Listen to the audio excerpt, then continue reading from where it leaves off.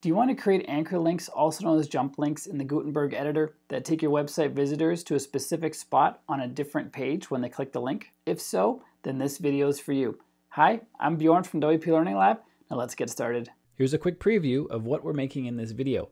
This is the page made with WordPress Gutenberg. If I scroll down, there's a link right here.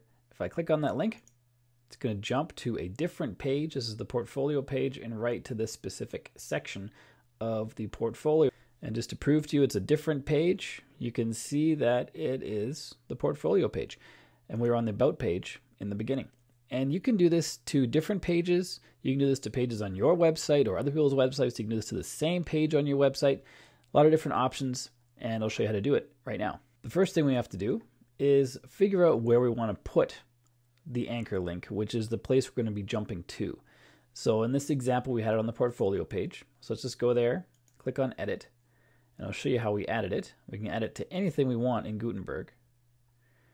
So it's on this highlighting your skills headline here. If we go to advanced, we see skills as the HTML anchor on the right. Let's just delete that.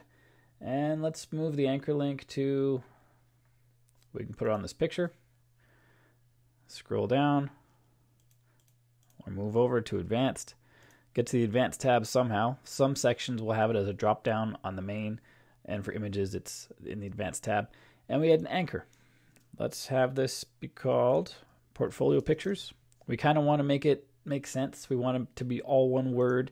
You can have dashes and underscores if you want. You can also have numbers. Don't do special characters. Don't do spaces. I usually try to stick to dashes because that's usually what I have my URL permalink set to as well to have dashes between the words. So we're going to keep it as that, and I'm going to copy this because we need this for the next bit. We're going to link to that page from, let's do the contact page for something different. Let's just add a little text right here. Just add the sentence, want to see my portfolio, click here. I'm going to highlight that, I'm going to make the whole thing a link and we need to get the link to the page we're linking to plus the anchor text that we entered in the field just a moment ago. So let's get the page URL first. And there's no easy way to do this. We just actually have to go to the page, copy the URL. And when we have something highlighted, we can click on the link icon to create a link. We paste the URL in here. We can keep that last forward slash or not. I like to remove it. Then we add a hashtag. And then we have to add the anchor text we entered in the field earlier, which in this case was portfolio pictures. And then submit. Now we have an anchor link on that text.